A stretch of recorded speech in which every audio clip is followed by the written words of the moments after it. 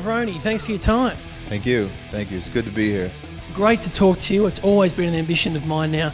Of course, many uh, four Mr. Olympia runner-ups and two Arnold Classic victories.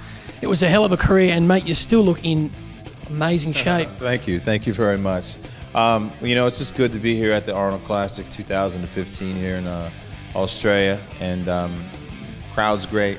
You know, it's an awesome show, man, and I'm just looking forward to seeing the finals tomorrow night. It's going to be very, very exciting.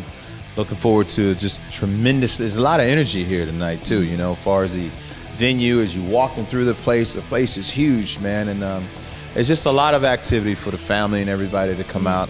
More than anything, it just amazes me to see how the sport has grown so much. Yes. From like, you know, I won my first Arnold Classic in 1994, and here we are, 2015, and it's like, you know, not only a bodybuilding event, it's just so many things that uh, it's, it's it's a family e- event for an entire weekend, you know. So it's it's good to see how things have grown and progressed. Now, you had a country upbringing, a very nice country upbringing, and I think it was your cousin stony it was, and you saw him come back one day from the Marine Corps, and you thought, wow, look at the size of this guy. And that was where the legend of Kevin Levrone was born. That was it. That was where the legend was born, man. Uh, he came back.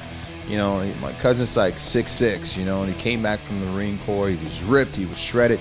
You know, all the training that them guys, you know, do when they go through the basic training is just phenomenal. They wake up five in the morning. You know, they jog for maybe about four or five meals. I mean, four or five miles. You know, then Marine Corps is hardcore, man, and and that's that's when I was first introduced to big, strong, ripped. You know, guy looked like you know the, the Hulk. You know, but but just ripped and shredded. I was like, wow. You know, that's what applying yourself. That's what working out does, and I wanted to look like that. So I tried to emulate what he did. You know, people talk about, you know, Flex Wheeler, they talk about Kevin Levrone, the greatest physique ever to not win Olympia. Does Kevin Levrone have the greatest physique ever that didn't win Olympia? I think I have one of them. I mean, uh, you know, actually, you know, you sit back and you look. I mean, I, I, I re-roll the tapes at times. Yeah. Times, you know, I'm wondering, you know what? Four-time runner-up at the Mr. Olympia, and uh, you know, I, I look at some guys that actually have a Mr. Olympia Sandow, and I wonder, wow, how come I didn't get one? So, Sure. you know, I'm going to replay that for the rest of my life in my, in my mind. So.